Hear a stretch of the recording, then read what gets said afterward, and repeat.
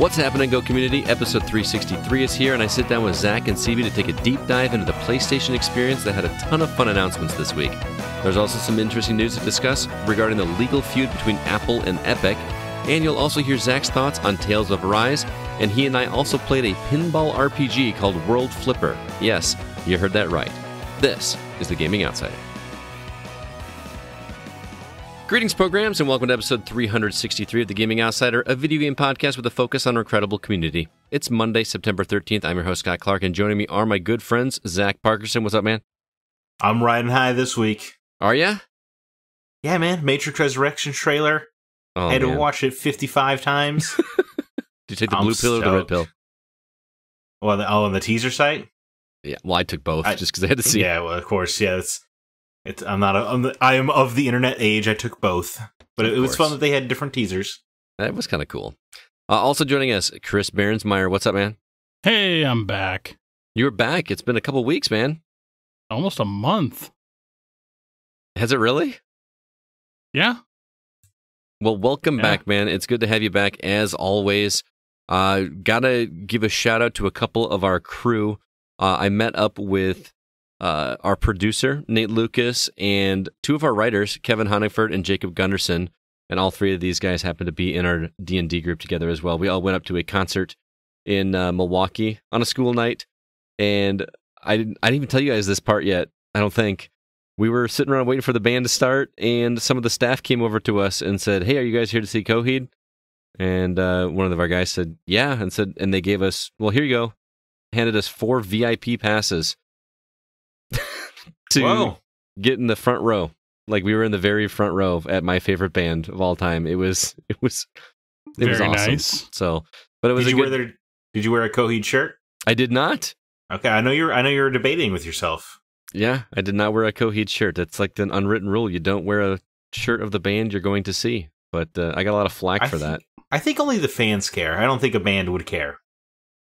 No, it's it's just there's an old movie with Jeremy Pivens called PCU, where he is talking to a guy that is wearing a shirt, and he's like, "Don't be that guy," because he wore a shirt of the band he was going to see. Granted, it was a college band, so it didn't really matter. But uh, I think I would be infinitely happy to see a Gaming Outsider shirt for the rest of my life. that's true. That's fair enough to say. Well, CB, you've been gone for quite a while, so you've had quite a bit of catching up to do, I assume. Any uh, anything you've been you've been playing that's not brand new? Uh well, uh let's see. I've been playing Alien Fireteam Elite. This a is what I've been. The, your opinion is the one I've been waiting on. Well, uh I have things to say about it. Uh first off, I love it and I hate it at the same time. Oh, So, um the gameplay, the aesthetic, everything about this game is everything I've ever wanted in an Alien game. hmm There we, okay, that's a good start. The glitches are atrocious. I haven't hit Um, as many glitches as you have. I don't think. So, uh, our producer Nate and I have been playing this a lot. Oh, Uh, I remember you telling me about this. one- Yeah. Actually, on two different occasions now, we've been up to the final mission, and we're like, we're tired. Um, we'll we'll come back to this tomorrow.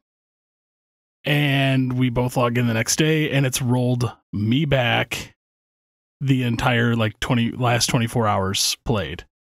So we had to Lost all his replay progress. Like everything, and we get back, and it rolled me back again. Um, That's not that I mind because I'm still loving playing it. But you still Um, lost like all just- of your. Did you still keep your weapons and stuff? No, I didn't. So I had to No. re-level those up again.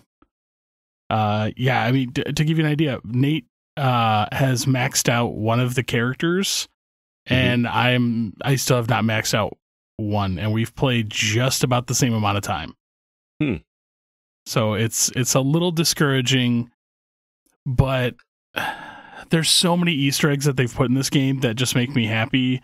Uh, like some of the e uh, the emotes that they've done. Like one is uh, Bishop's like knife trick. Oh, cool.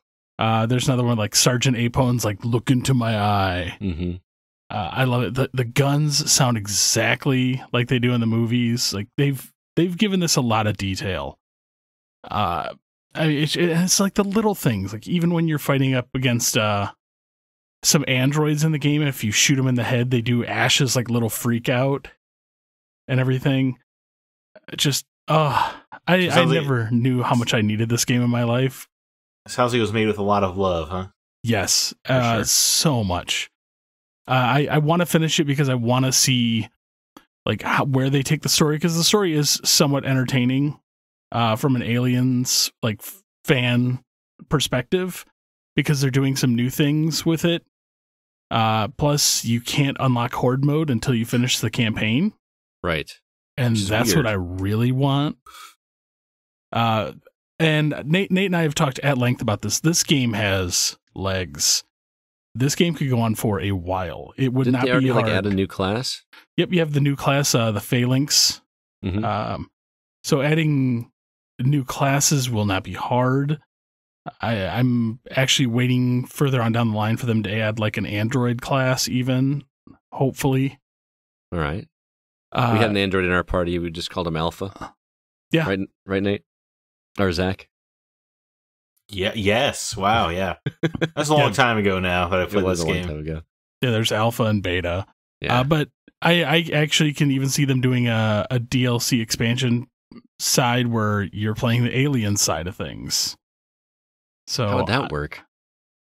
you hunt Shoot down acid? Marines. So just totally melee, no shooting. Sure, I dude, I'd be all for it. Let's go. Bring in the predator and let's make some AVP stuff going Mm, on. No, I think I That's think it's nice to have something that's just alien and something that's just predator every now and again. Yeah, but the last predator thing we got was was one of those like four on one games, wasn't it? yeah, Yeah, it was fun. hunting grounds. Oh man, it it was just free on PlayStation Plus. That's the correct price for that game. Yes, it is. uh, I, I'm I'm not a big fan of the four v one play style. I'm not Oh. I, yeah, I'm, I like it. I like it a lot. So unless, I- unless it's the Friday the Thirteenth game, then I'm all for it. I wish I had made more time to play with you guys. I know that uh, I think you guys played with Kevin Yep. at one point as well. And uh, Kevin had the same problem I did that uh, he could not get a kill in edgewise because Nate just took out everything. I swear I would like aim my shotgun at something and right before I pull the trigger, Nate kills it. So like my well, that's because counted. Nate also played like the heavy DPS class, Right, right. whereas I like playing the technician, which is more of a support role. right. hmm And of course, you the one time you did play with us, you were playing the healer. Well, yeah. So what like do you, what do you support. expect to do for a lot of kills? Like you're there to keep us alive. that shotgun feels good. I'm not gonna lie. I oh like it. yeah, it. really does. Especially some of the later ones you unlock. I did play a little with you guys since we recorded last time, and that was it. It's just dumb fun. It's just it's just great just to sit back and have conversations, and there's there's still some coordinating, and because you guys were, we, I was playing a level with you guys that you had already completed, so you knew, you know, the tricks and what what what was going on, and that was kind of fun to just like follow your lead and do that. I'm I am enjoying this game far more than I expected to. Yeah, those those challenge cards too can make that oh game yeah. really interesting. Zach, I didn't tell you about that because we we barely saw the challenge cards, but they give you these cards that you you actually purchase with the currency. It's like it's all I ever bought with the currency was those because you can get like skins and stuff, but I just don't really care or emotes. But they give you they give you challenge cards that like double or triple your your XP or double or triple your um, currency that you gain if you complete some task when you go through it. Uh, there was one that we did where the health packs just randomly work, or like you have like a one out of two chance for them to to not work and to actually drain your health all the way to zero. But if you survive th- that skirmish, then you get you know triple the experience or something. The one that was driving uh, driving you guys crazy was when they just turn off the tracker. oh yeah, Like for It the the- entire the run, no entire- tracker. it took the HUD away, which I thought was just going to be the tracker. No, it's everything on the screen is Yeah, turned so you don't off. know how many how many rounds you have left. You have no aiming reticle, so you basically have to aim with, you know, your Spitfire or whatever. I don't know what's the correct terminology for that, but that was a, that was an interesting run. Yeah, we we made it though. We did, but they they come up with some really clever ways to just kind of put a, a little twist on this on this one level that you play, and and if you make it, you get a nice little bonus, which is which is kind of fun. So The the one that was the most annoying. Uh, I don't know how you feel about it, but remember you had the one where it uh, monochromatics the screen.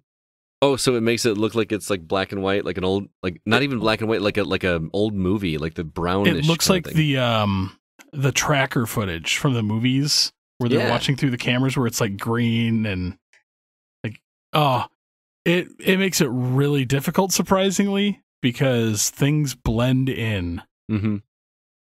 But man, loving it. I'm gonna keep playing this one for a while. So I will try to play some more with you guys this week. I promise. So, um, other than that, I've been playing another game called A Day Without Me, which is a Or in our indie case, game. three weeks without you. Yeah, that is true. Yeah. Um, this one's just an achievement chaser. Uh, Uh, it's a thousand thousand achievement points in less than twenty minutes. oh it's funny you say that because the all, all the images look so artsy online. It kind of reminded me of a bad Untitled Goose Game, Ugh. Interesting. where because the game doesn't tell you really what to do, it just says like go here, and then you look around for a puzzle and you solve the puzzle. Um, the puzzles um aren't that great. One of them, like you have to spell the word fire, but when they coded it, it's misspelled, so it's F R I E. Oh boy, Yeah. that's brutal. That's amazing. Um, there's another one where you light a bunch of heads on fire that are growing in flower boxes, and then the heads transform into a giant like rock, and Indiana Jones chase after you.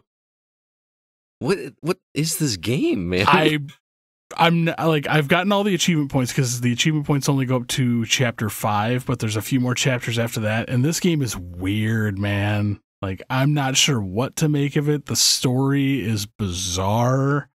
is it like a if- metaphor or or I I'm I think it's kind of like you're in a dreamscape and you're trying Okay. to escape, but nobody talks, does nothing. It's just weird. You're the only Alright. character in the game too, so like there's no NPCs, there's nothing. So, uh buyer beware. It's it's cheap, but know what you're getting into. Like it's it's not going to be a fun time. but easy Ah. achievements, like you said. Yeah, that's about it. I don't expect much else. Um, and then I've also been playing Surgeon Simulator 2, which is free on Game Pass. Oh, And I didn't know that. Thank God. Is it bad? It's awful. I never played the original Surgeon Simulator. so I played the first one in VR, where it's meant to be played. Mm-hmm. and even then the uh, the track because I played it on the PSVR, so my first VR experience. Um, the tracking was not great. It's it's goofy, fun, dumb humor, which I appreciate. Um, this one trying to play it with a controller, man, it is rough. Like it is it is unbelievably hard to do like the most meaningless tasks like pick up the scalpel but the tracking doesn't work that good as as you're doing with the controller because like you can't extend your arm out further that easily. Right? You have to like hold down left trigger, use right stick, and then press B. That And like, sounds like yeah, it's super complicated to be doing with a controller. I'm having heavy rain flashbacks. So it just sounds like why bother? Yeah. Yeah, th- this is something that probably shouldn't have been ported uh, unless they fix the controls. I'm going to actually play around with the control schematic to see if I can't fix some of this. But damn, it's it's not easy at all.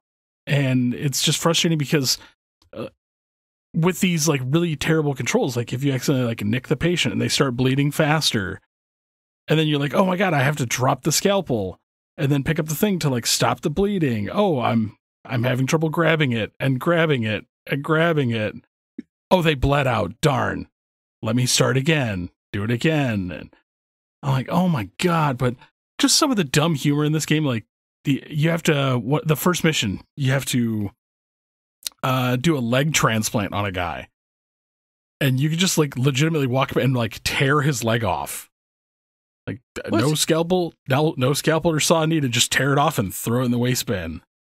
I'm like, th- that's really bizarre, but it's it's fun. Or removing people's ribs with a hammer. Uh, I, I know that the game has a huge following in VR because of some of the dumb things you can do in it. So uh, Hmm. I've been thoroughly, I want to say enjoying it, but until the controls get fixed, that's really hard. Yeah, I, So, I think uh, you you sold me on avoiding this one like the plague. yeah, I, I I'll get back to you on it because I'm I'm not done with it yet. So, but other than that, uh, I'm still plugging away on Binding of Isaac. I'm inching ever closer to that final ending. How I have you not done everything yet? It's a the dude, the final ending is hard because you have to beat uh greed mode like six times, which is not easy in itself. And then it unlocks greedier mode, which is double the difficulty, and then you have to beat that like six times. Yeah. And it's and the problem is with greed and greedier mode is it's random. So you may get really bad items.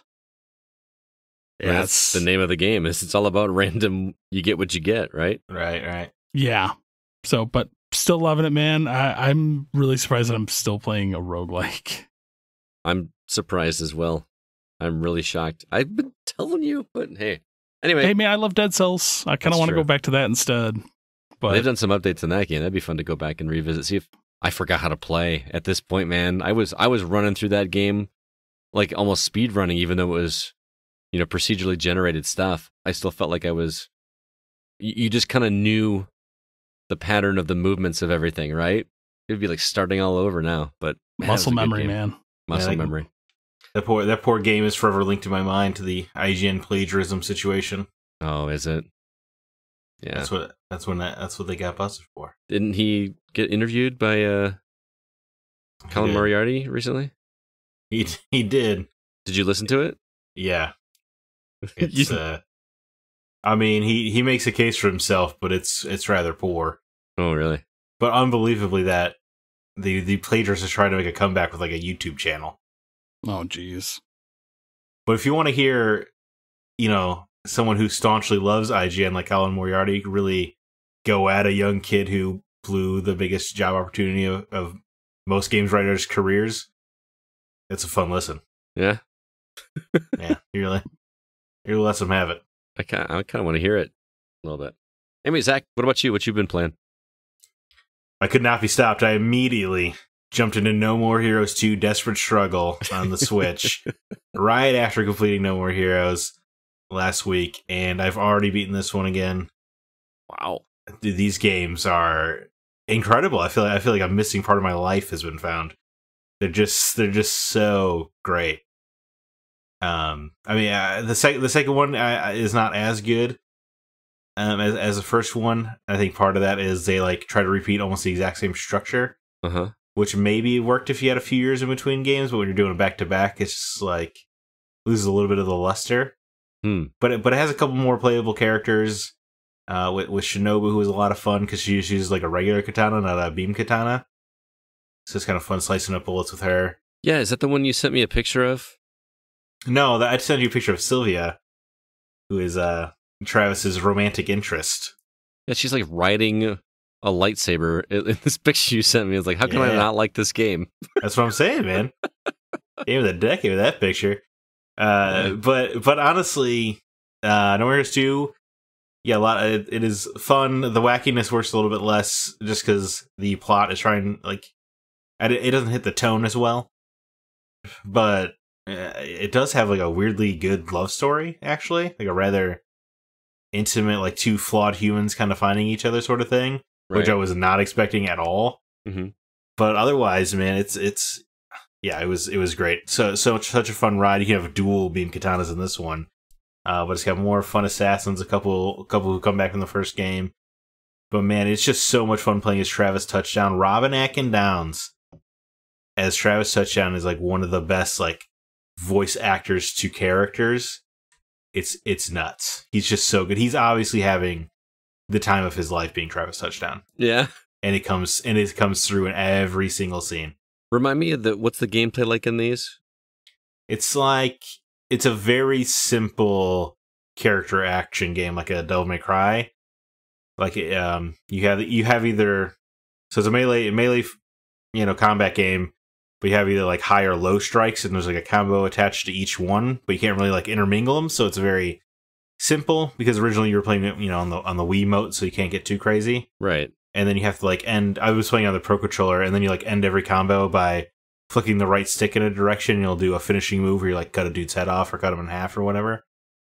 Um, and it's it's just a lot of bloody, dumb fun. You know, it's pretty easy, but all the boss fights are where it really comes to life because you know you have to like engage in certain ways, whether it's you know a, a boss who's split into two parts, one's ranged, and then like his twin brother, you know, is like melee, so you have to like try to balance them both, or you know maybe, maybe you're fighting a guy who's essentially just Batman, so he's like hiding in the shadows. It's every every boss fight is unique and interesting. Hmm. Highly recommend. There's a spin off that happens in between two and three.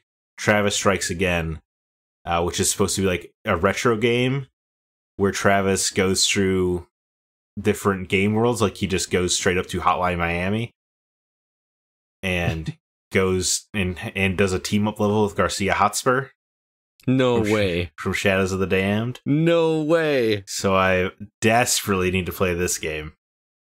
So that's Surprisingly, that's I own it. I forgot about that one. Travis Strikes Again. Yeah. I'm looking. I'm looking for physical copies. Are not cheap. I'll tell you that. Really? So I am. I am. I think I, But I'm trying to find one. I think I picked it up at GameStop for like fifteen dollars. It seems like one of those things where they probably produce a low amount of copies, and people who wanted it bought it, and they just cleared them out, and now, now it's like tough to find. But I, I really want one. But I'm trying to give myself. Obviously, it's September, so it's going to be hard to squeeze in this one. But I kind of want. to so much out, man. it's insane. So it's gonna be it's gonna be tough to get to Travis Strikes again. But I'm I'm actually kind of happy about it because I kind of don't want to burn through them, especially with seven seven years passes for the characters in between two and uh, Travis Strikes Again, and and I think that's that's kind of cool because uh, I like I like you know I like to see what happens to characters as time passes. Hmm. Interesting. But I'll be I'll be checking back in with that one, boys. Let me tell you, someday soon. Sounds like it, man. All right, well, let's go ahead and uh, go ahead and jump right into the week's news. What do you guys say? Sure. Let's do it, man.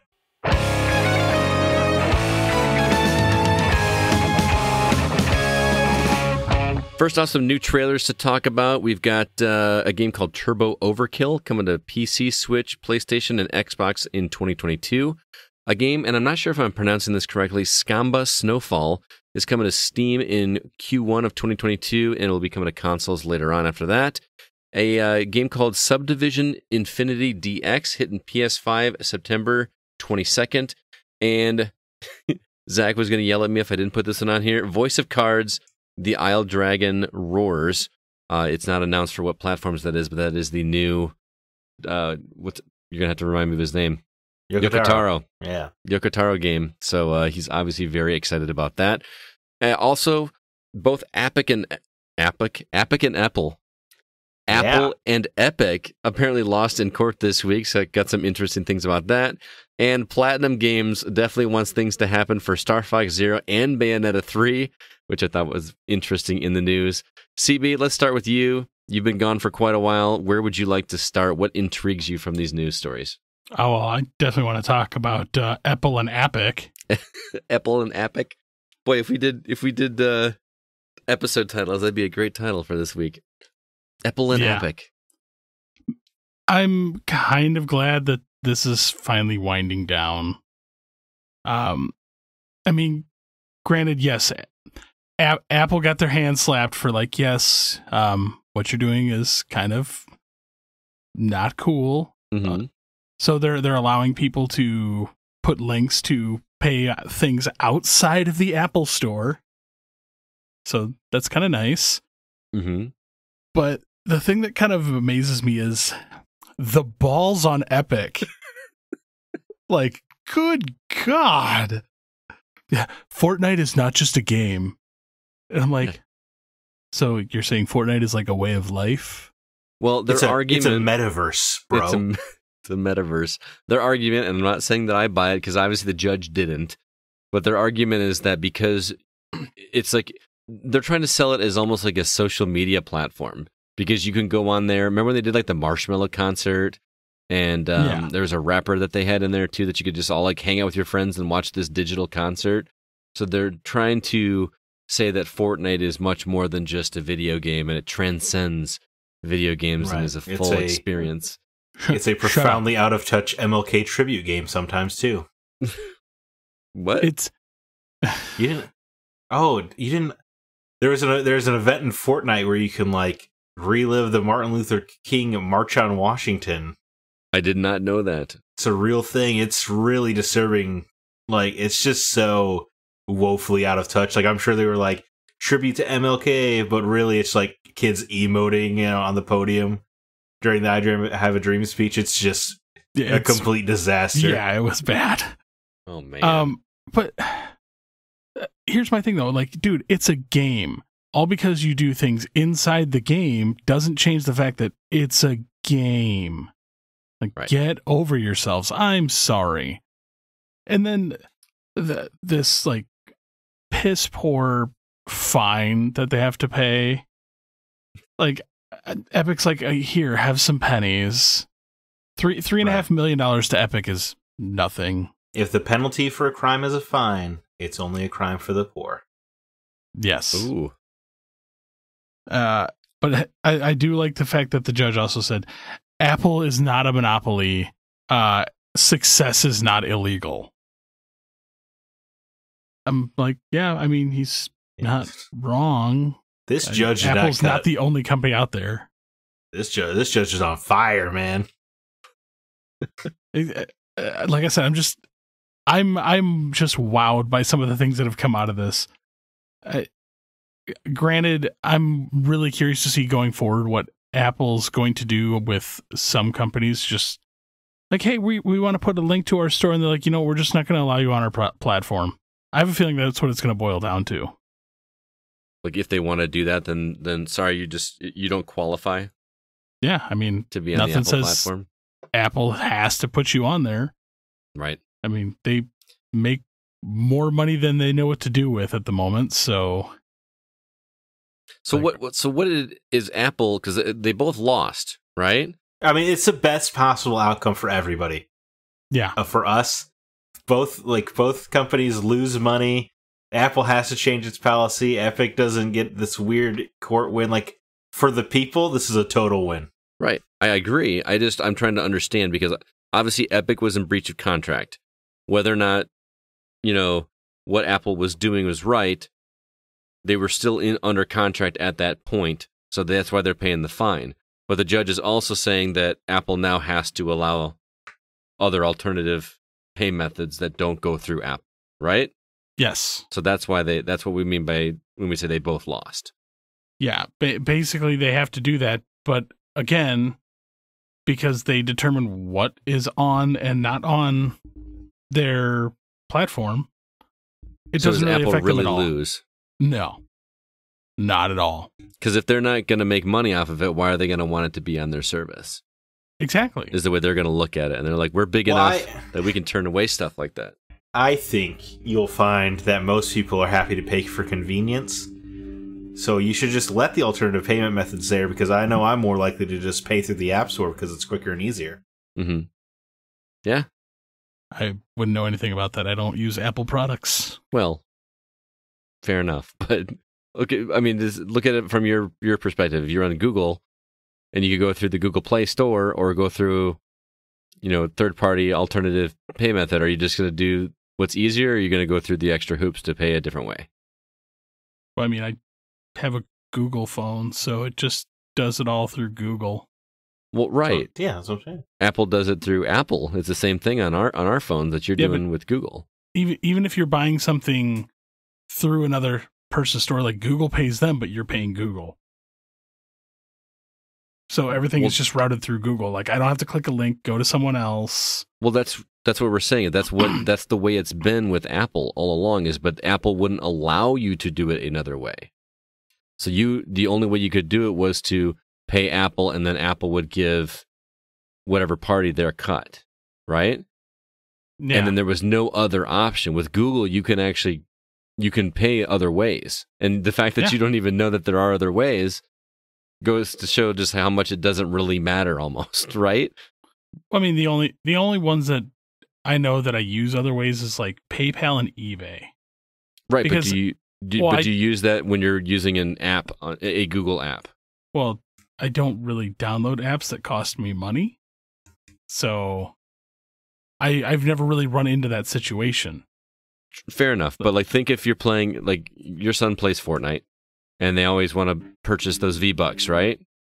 So Yeah. if you were going to purchase V Bucks, if you're let's assume your son was playing Fortnite on your Google phone or on his Google phone, let's assume he had one, and you wanted to and he wanted to purchase V Bucks, you would just buy it through the Google you would, you would purchase it through by way of Google. And then Epic would get their cut, right? Yeah. What Epic did, what Epic was trying to do is they were offering alternate payment ways for you to be able to pay and buy those V Bucks. No, no, I, I get what they're trying to do. It's just I've I can't really speak from experience because I've No, I never had to deal with it. Right. Um, yeah. I, I don't I mean, do if they made it if they made it easy to do, I wouldn't care. I mean, whether and I think whether that's Zach, that's Zach's point is that that it's easier just to go through the method that it was that it's designed, right? It's easier. It's a convenience thing just to go through Google or to go through Apple because we don't really care. We're paying the same amount of money, right? We don't care if we're Yeah. if we're you know w- which way it gets distributed unless you're just like a hardcore Apple loyalist or a hardcore Google loyalist, which you know uh, they don't they don't need. I don't know. Yeah. And I I will say I understand what Epic was trying to do. Like, hey, like this is our stuff. Why are we paying you money for our stuff? But I also So- see Apple's point of view. We're providing a service for you to put your thing on. That's like when when when someone makes a game for Xbox or PlayStation, Xbox and PlayStation get a cut of that, right? That that actually does make an interesting point because with Apple, I not with Apple, but with Xbox and PlayStation, like everybody buys everything through the PlayStation store or the Xbox store. Right. Would something like this translate across to them? That's what we've been talking about when this whole thing started is that this Yeah. could potentially be a game changer for the online marketplace for everything in the future. You know, consoles, phones, PC, everything could just could really just be upended. And I don't know, you after this though it feels like it's if does it feel like it's fizzling out a little bit to you, Zach? Like it's you know, we're talking about it obviously, but it just feels like it's done. Yeah, man. It, it, I think it went on too long for people to pay attention. Well, yeah. I mean, look Yeah. what happened with Activision, right? I mean, that's just gamers, especially gamers, are quicker to forget than any other community. It feels like I don't know if that's just because we're more ingrained or what, but it feels like gamers are just immediately forgive for the next potential, you know, hit of their own endorphin rush. Yeah, So pretty much. So actually caring about this for this long seems impossible for most. I mean, I mean, think about. I feel like it's so underreported on, on the major game sites. Yeah. Underreported or overreported? Underreported. Yeah, I feel like I, I think the article that I linked on our format actually wasn't even a video game uh, journalist site. It wasn't a, a, a video game publication. I believe it was like CNBC or something like that. Yeah. Like it was, So, I mean- it was, it was just like a regular news outlet that was not specifically catering to to video, fans of video games. Um, that's where I had to get my facts from for this, which That's is saying. Yeah, So it def- so yeah, it definitely fizzled out. it was like a hot. It's like it's like news stories are a big deal for about a week in our in our in our universe, and then Right. we just, moved, just- moved on to something else. One, once you get outside of that news cycle that you're in, things tend to get forgotten. which is sad, especially nobody's talking about Activision anymore. Yeah, man.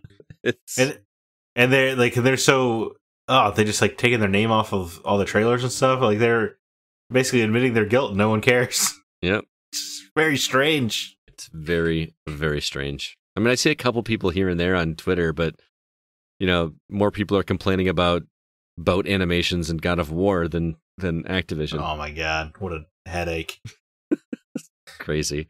Anyway, Zach, you want, I assume you're gonna want to talk about Platinum. Well, Platinum's exciting. I'm, I'm sure we'll get there. But guys, we got to talk about Voice of Cards: The Isle Dragon Roars. Okay. Okay, it's the full Yoko Taro crew. It is so Yoko Taro's creative director, Yosuke Saito, his producer, is on it, and Keiichi Okabe, who's the composer of Nier, which I know you're now a fan of, Scott. Yes, And- I do. I did listen to the soundtrack a few times. And then uh, Kimihiko Fujisaka, who is the concept artist of uh, Draken, the Drakengard series, as well as the original Nier back in 2010, is doing the art for the cards. This is pretty exciting. What's most exciting to me is honestly that uh, Yoko Taro clarified that this is so this is like a card RPG, but he but he was hesitant to call it like a card battling RPG. So like I have no I have no idea what I'm getting in for with this game but it's exciting because he confirmed it will not be a social game. So it'll not be like, you know, a phone game trying to get your dollars. Like it's supposed to be like a premium RPG experience, which is, I feel like, I feel like, especially for cards, but, um, you know, like it it calls them like Slay the Spire or something. And then it's not connected to the Draconeer universe at all. And that's kind of refreshing. Really? Why is that? Because it's just something fresh and new, and you don't have to, you're not like dipping back in the well. I thought you'd want to want it to be about there. Well, I'm I'm sure we'll get a Nier three eventually, but it's nice to see Yoko Taro flex creative muscles where he doesn't have to worry about like that continuity in that universe. Like he can just he can just tell a story. Uh, that sounds that sounds pretty rad. And obviously, you're excited. I mean, you, you, Yoko Taro could make a Mario game, and I'm pretty sure you'd play it. Oh man, could you imagine? You'd probably be playing as a Piranha Plant or something. that would be pretty cool. So yeah, voice Yeah. of cards. Man, 2021's been a good year for Yoko Taro fans. Let me tell you. I, can see that. I, I want to talk about one of these trailers too before we get on to platinum. Uh, there's this one that stood out to me. It's called I don't know if I'm pronouncing it correctly, but Skábma Snowfall.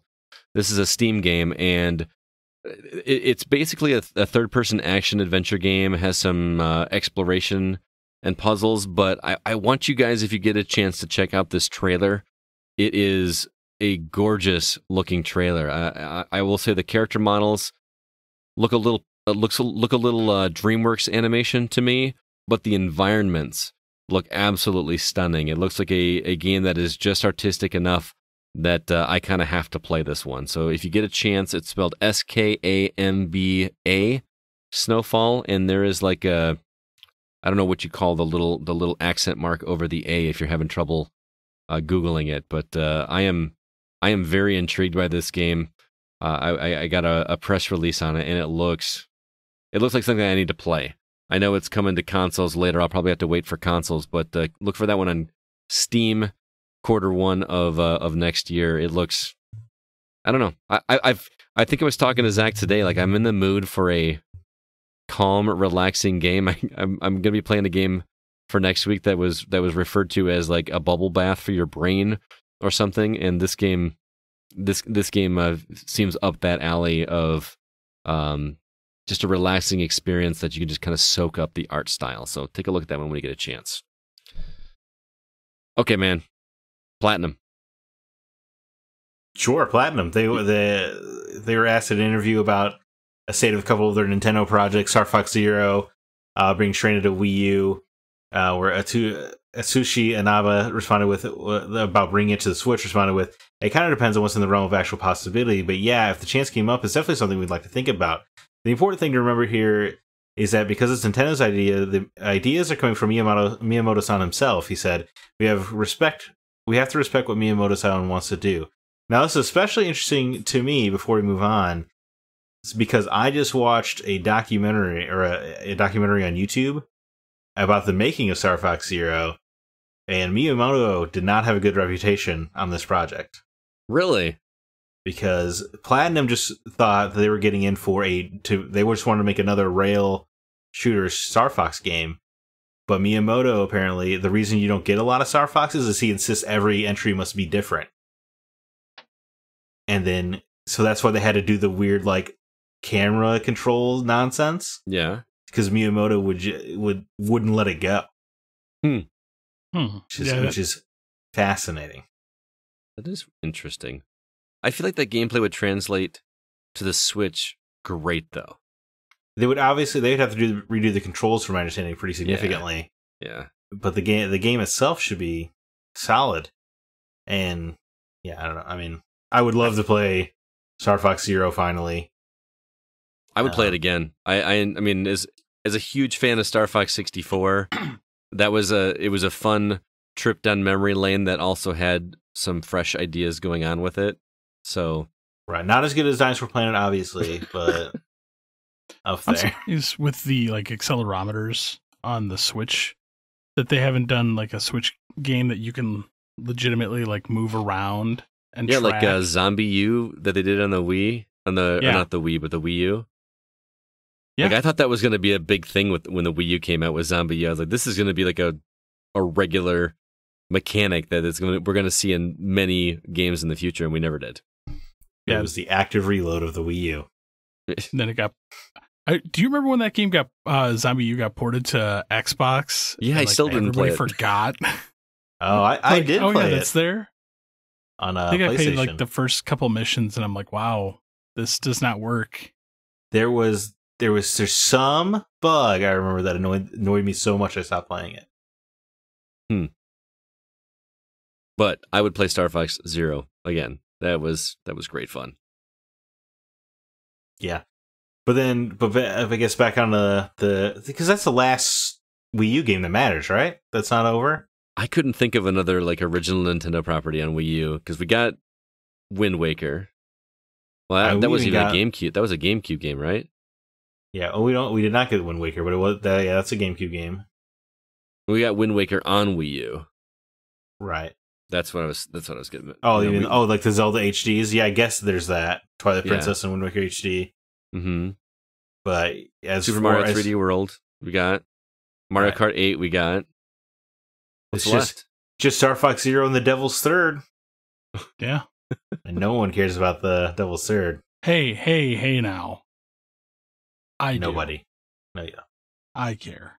Anyway, Hideki Kamiya, Twitter's own Hideki Kamiya, weighed in on Bayonetta 3 and said, ultimately, it's not our decision what to say and when to say it.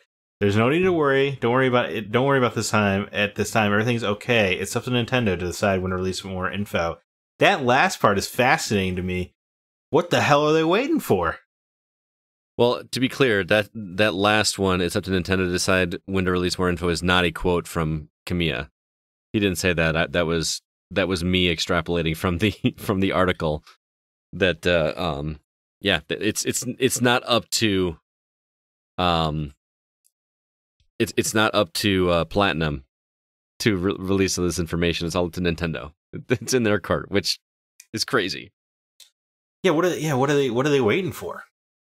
The right time. Well, for it to not be September, maybe I don't know. like, I mean, seriously, like just just from an, an email standpoint, my email inbox has been significantly diminished since last week. You- Are you finding that as well? I mean, I feel like I'm still getting. I mean, yeah, not as much, but it, they're, they're still coming. Oh, they're still coming. It's just like it was an onslaught. Well, granted, my email was down for a, a day or two, and I came back and I had hundred emails, so I felt a little overwhelmed. So maybe that's why I'm I'm uh, feeling that way. But uh, yeah, they're just they're probably just waiting for the right moment. But when's a bad moment when it when it, it comes to releasing a sequel to a very popular franchise?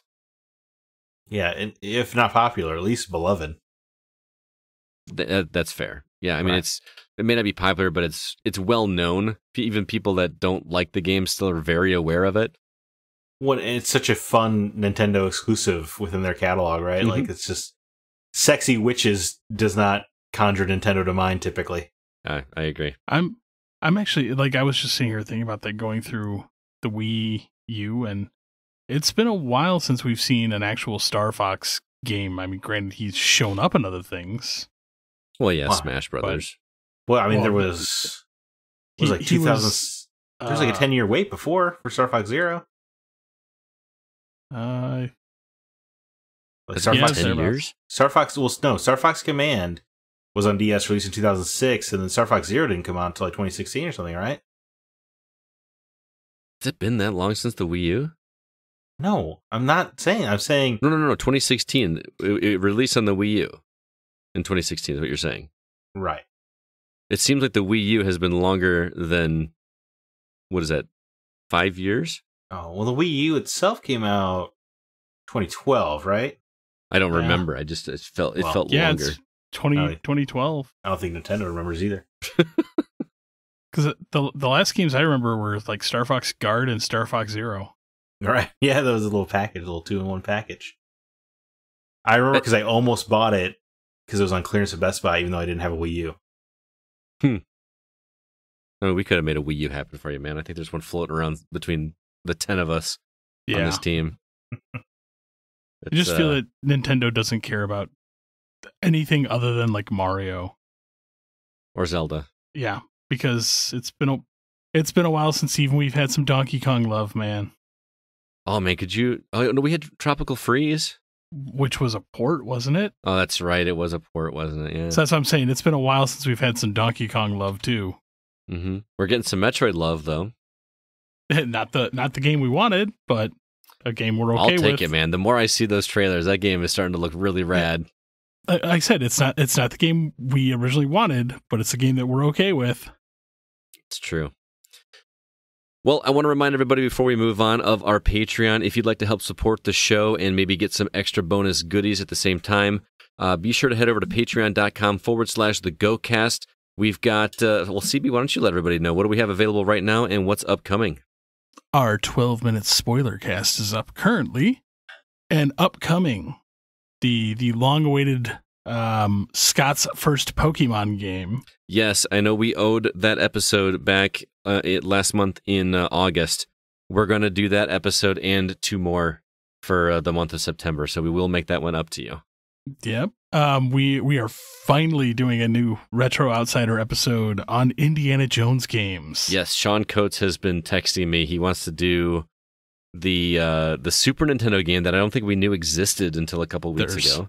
3. There's three. Well, he was talking about the Infernal Machine, which I believe is on. That is on uh, 64. 64. Yeah. You have um, Temple of Doom, the two different Last Crusades. we're not gonna play all of them, man. I, well, I know, but I'm saying like that's what you have, and then there's um, the Greatest Adventures on Super Nintendo. Yeah, that's Fate the we Atl- learned about. Fate of So- Atlantis, and that was PC, right? Uh, I believe it's also on console. And I played the one, the LucasArts one that was based on the Last Crusade. I played that when I was a kid. I loved that game. That was great. yeah, so I mean, there's a few. So we'll definitely we'll, we'll definitely touch on all of them. I'm not going to say we're going to play all of them, but we're definitely going to play that Super Nintendo one and probably the 64 one and as then well. we've also got my hot take on the the what's going on with the possible fraud implications of the video game collector market. Yes, and I think you were mentioning also on Twitter about doing a retro outsider on uh, on a particular game based on a particular children's film that I actually grew up loving. Yes. Um I recently acquired a lot of Nintendo Famicom disc games and one of them apparently is a game based on the adventures of Milo and Otis. If you have not seen it, we need to watch the movie. I have it on DVD. Oh, so do I. We need to watch that movie and then play the game and just do a whole episode on it because that would be that would be hilarious. I don't I've think. played it I played it a little bit already. Is You're it in bad? For a, you're in for a treat. Oh, so this is going to be a games that aren't for us episode. Oh yes. Oh boy! All right, we're gonna have to we're gonna have to record some of that gameplay and and do something with that. So. Anyway, if any of those episodes or any of our past episodes sound exciting to you, you can head over to patreon.com forward slash the GoCast. Uh, three bucks will get you one bonus episode per week, and five bucks will get you two. And um, any level will actually get you uh, uh, early access to our podcast a day earlier than everybody else. So uh, be sure to check that out. Like I said, uh, games that aren't for us, uh, Retro Outsider, legacy episodes. Anytime we do a spoiler cast, all those things will be exclusive to Patreon, and we hope that you guys do enjoy them. Let's go ahead now and jump into the newer games that are coming out this week and the ones we've been playing.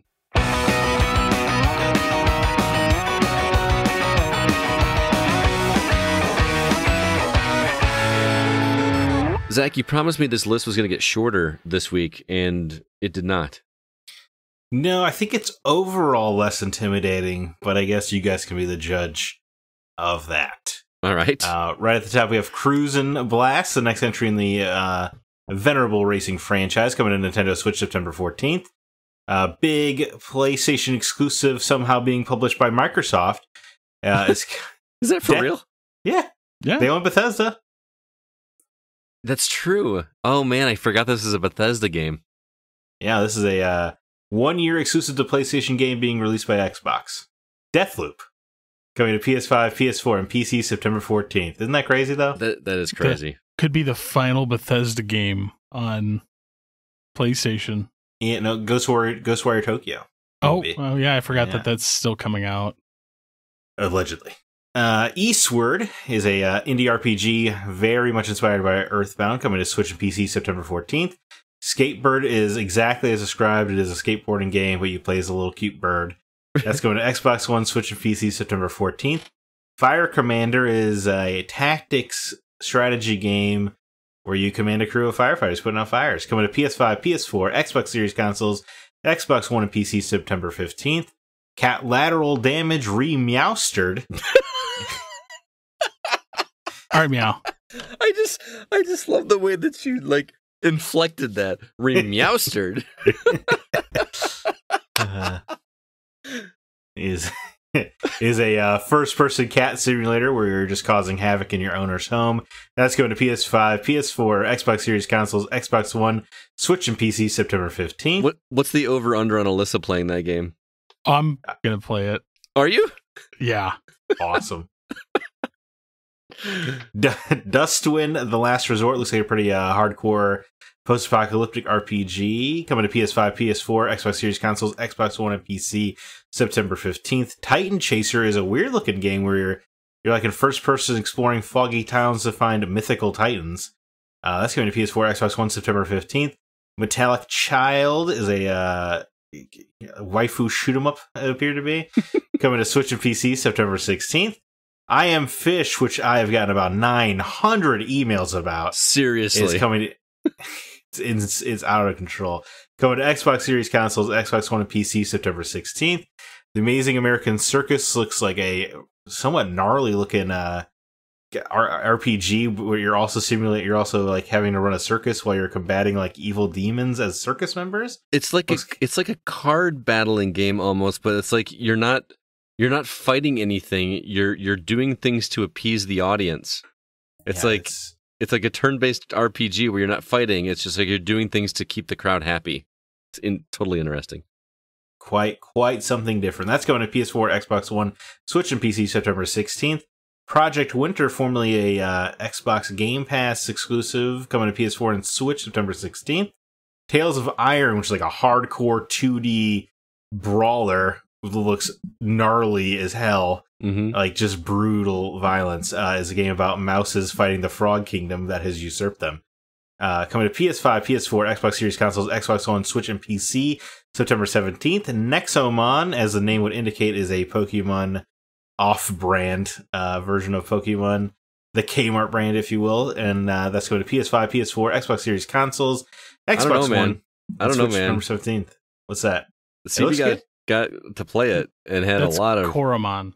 really. Oh, is that Coromon? Nexomon is the one that Nate has already reviewed. Nexomon, yes, that's the one that Nate played. Okay, my bad. Origami 2. Yeah, I think Nexomon, I think it was an early access or something. That's already Yeah. out on Switch. Yeah, this it's is been its on. full release. Uh, anyway, Origami 2, the follow up to the stealth uh, action game from a few years ago, coming to PS5, PS4, Xbox Series consoles, Xbox One, and PC September 17th. Ni no Kuni 2 Revenant Kingdom getting ported off of PlayStation and onto Nintendo Switch September 17th. In that game, you can play as the president who's stuck in a Studio Ghibli world, so that's weird. and he carries around a pistol. Toem is a bizarre looking black and white adventure game coming to PS5, Switch, and PC September 17th. And then Song of the Smoke uh, is something that I assume would appeal to CB simply because it is coming to PSVR as well as place or different PC VR units September 18th. Guys, I guess I was wrong. Yeah, that's a lot of games. Yeah, it's a lot. Uh, anytime you mention Earthbound, my ears immediately perk up. So Eastward, I'm going to have my eye on. However, I know how long those kind of games take, and I just I just know I'll never finish it. So I'm I'm hesitant to do anything but wait. Shame. My my brain is like I can't start a game and then put it down. Like I like if I played Eastward for 10 hours and liked it, that wouldn't be enough for my brain. I would have to finish it. No, I know. That's a shame. My problem is I just don't get in them because I don't want to have that guilt of giving up No. on the game. I 100% agree. Yeah. Uh, Deathloop, I can't decide if I want to play it because the reviews seem so mixed. Like the critics for sites really like this game. There's been some perfect 10 out of 10s for this thing. And then I read some other reviews where they're like, it, it sounds like 12 minutes, Yeah, But it's, but in third I mean- first person or whatever. if we, if we're talking about reviews, I find them fascinating because the big sites all seem to be giving nines and tens, and then like the more mid sites are giving like sixes. hmm So I just wonder what the discrepant like. What is the difference? Well, and a six isn't like a terrible score. To me, a six or seven is still a good game. Yeah. So I don't know. I'm just, I, I think I'm gonna kind of wait to see what somebody here thinks about it. Or I know a good, I know a good friend of mine is sold on it after reading some reviews and kind of wait. And uh. I, I was sold on it until the characters started talking in the trailers. oh, really? Why? I, f- I just find them very the, very annoying. Oh, okay.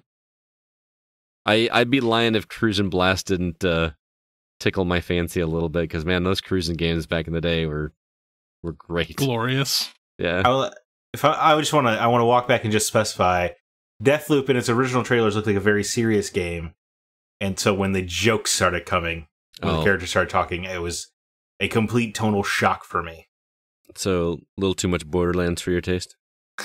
Yeah, I would I would I would call it the Borderlands effect, but I want to check it out like on sale. If only it was on Game Pass, wouldn't that be a thrill? Yeah, Mm, yeah. get that PlayStation Game Pass. CB, what Yeah. about you? I don't need it. Well, Catlateral. I'll I'll probably play that, but I also kind of want to play Titan Chaser. Yeah, 'cause It just looks I like- different. yeah, I like weird games, man, and chasing mythological creatures. Deal, I'm in. I and mean, if I weren't if I weren't like overrun with information about it, I kind of thought I Am Fish looked kind of cute. yeah, but I just I just Fi- feel like it's been- Finding Nemo the game. I think Scott, we're, we're in an unfortunate position here because it really has been like, I think like almost two years where I've gotten an email or two a week about this game. yeah. Oh, It's, I feel like I, I don't know what's left for me to learn about I Am Fish. right. the fact that you're not actually a fish. Whoa. Uh, as for me, Tales of Iron would be the game I'd absolutely be playing if we weren't in between huge releases. Yeah. I think it looks. Anytime you take like furry creatures and then make them all bloody and stuff, I'm I'm in. Well, that's what you were hoping for uh, from uh, boy. The Bio- game is name is Bio, escaping me. yeah, Bio, you said it. Biomutant. Well, then that Fist game that came out last week, you were playing as like the mechanized robot guy. Mm-hmm. I really want to play that. And then what a weird time it is for anthropomorphic murder games. Can we And can we like do this where Right. like we we all take a vacation, like a week of vacation at the same time, and we all just get away, and we just like rent a cabin or or or something, and we just set up TVs and play do nothing but play video games and get I caught wanted up. to do that over the summer, man. I know. it just never We need- happened. Yeah, we need to do it in some sort of fashion where we're like in the woods with no cell phone signal, right? Like no temptation. Yeah, Yeah. until we get there, and then like half the games that we need to play need internet access. was say, well, we're you got to download all the patches. Download all the patches first. Yeah. Yeah, And we just I- take our consoles and our TVs with us, and we just get a you know pantry full of unhealthy Pop-Tarts. snacks and, and yeah. Beer. I want nothing but pizza Doritos, rolls. beer, Mountain Dew, and frozen pizzas. Oh, exactly. I'm sold. Let's do it. I'm in. you know, I know it sounds like I'm joking. I'm really not. Can we I would like, do it. Are you kidding? I would do it absolutely. like spring break or something? Wouldn't it be an amazing annual trip for us guys? It would be, man. We should just do it over spring break every year. Been saying this for years, man. Where would we go? Where would we go? It's got to be somewhere that's like Dude, I got a, I got a place already, so it's not that bad. uh, I'm Spring. really, really digging this idea. We'll we'll go out to Alright. Colorado. Colorado. It's a Well, really we could. nice tell place. this is probably not great radio, so we could probably Yeah, talk about this yeah. off, off the mic. Let's go ahead and move on and talk about uh, a game that I'm anxiously anticipating Zach's reaction because he's been talking about Tales of Arise for quite a while now. You're playing this on PS4, right? Correct. Yes. So you're going to have to educate people like me that have never played a Tales game. Tales of Symphonia, Tales of I can't remember the names of them. I know nothing about this franchise, um, other than I I, was could- just told I had to play them back in the day. I was messaging a friend who was an avid gamer who had never heard of the Tales franchise, which blew my mind. Wow, yeah, I thought that was, GameCube was like hugely prolific. I feel like Right. Well, I feel like Symphonia and Vesperia are like the breakout ones, right? Mm, that's Yeah. where I started hearing about it. Yeah, Yeah. Uh, but but Tales of is I I mean I used this phrase earlier in the show, but it's like the off-brand Final Fantasy. okay, Uh, this so so in less amount of time, Tales has gotten to this being its seventeenth mainline release. holy cow! Yeah, so they they knocked these suckers out for a while there. It would they would have a new Tales game out every 18 to 24 months, which when you think about the size of a JRPG is Yeah, insane. With like the same composer and stuff. Like how are they knocking them out this fast? So to me, the franchise with the occasional exception of like a Symphony or Vesperia, it always felt like fast food JRPGs, right? Like this you know, th this this quick meal that's probably not going to it's definitely not going to last with you, but you can get in and experience the tropes if you want to get out. And every now and then you'll have a good one, but you know, usually you're just going to get a whopper, right? okay. So d- do the stories not interconnect like Final Fantasy doesn't, where each one is its own thing? Yeah, well, it is. It is much like Final Fantasy in that regard. Like every every different, you know, one is not connected. Mostly, there is the occasional exception where like there's a Xillia and Xillia Two, which was a direct sequel, and then uh, I know Bers- Berseria is like a closet prequel to one of the other ones, but that didn't really matter. So yeah, they're but they are mostly disconnected in their own universe, etc. But- Okay, but the- so but- what's this? Oh, go ahead. I was just, but their but what their big standout thing was that it had a real time uh, action combat when you got when you like hit your random encounter or whatever. It would be a real time game, and it would play on like a two D plane, almost like a fighting game. Okay. And that I remember kind of that from big- when I was trying to decide whether or not to get into Tales of Symphonia when I was a kid. I was like, oh, it's like Final Fantasy, but you actually control the character instead of select commands. yes, which mean which means you're not really you know controlling your whole party, Right. but you can but you can always you could always play as all of the party members. You just couldn't. You know, you would just have to pick who you were going to play as beforehand. That's all. Gotcha. So what's the story in this one? So Tales of Arise is uh, significant in that this is a big engine overhaul. It's been five years since the last Tales game, and I mean, I think you can just tell by the screenshots, you know, the the new engine they've built off the bones of Unreal Engine Four. Like this game looks stunning. Okay. It looks like an anime come to life, you know, eh, which is what they are going for. It looks, I think, it looks absolutely amazing, and it's just got a, it's got like bigger production values and stuff. But the general the general premise is you're playing as uh, this character who is a slave, uh, Alphen, Alphen as he's known in, all the promo materials, and he's like trapped in this iron mask, and he has amnesia, of course, because it wouldn't it wouldn't be the a JRPG otherwise. Right. However, I like it because they don't. He kind of just like it's just like acknowledge, like it's just. I don't know. I feel like the, the amnesia is usually like the character's almost like whiny about it, or like who was I? And he just like kind of doesn't care. Mm-hmm. So it's a little bit refreshing in that way. Uh, but he but he's uh, he's a slave, um, a, a member of this race called the Dahnans, and they're enslaved by these people called the Renans, which I gotta tell you, startling revelation of the opening cutscene. They're Renans coming from a different planet. They're like alien invaders. Well, that's cool. Yeah, Don't they expect just- that in like a fantasy setting. I know, but I mean, and they look humanoid, right? They're not like jarring to look at, but they did like they came and conquered this planet, which is yeah, you're right. That's very atypical for this genre, especially. But you're playing as a slave. He's trapped in an iron mask, and he doesn't know why. Like he has to like eat through like poking the food up through the bottom of his mask and stuff. It's uh, it's a fun little hook for a character, Hmm. and he t- he ends up uh getting escaping the slave camp, meeting up with this girl who whoever whenever somebody touches her, she just like conducts electricity and they die. So it's a little bit like the rogue thing where nobody can touch her. Yeah. But what a coinkydink because Alphen our main character can't feel pain. Hey, hey, we should get these two kids together. Yeah. Oof. If only there was some light romance brewing throughout. Right. Yeah. What, what a what a startling revelation that would be. so uh so it is like somewhat standard JRPG fare, right? You're you're teaming up with a band of rebels. Uh, but what what I think differentiates it story wise so far is that it is moving at one hell of a clip. Like you're out of that starting slave village in less than thirty minutes. Oh, you've wow. def- you've defeated the first of the five lords in four hours. Like it That's is- impressive.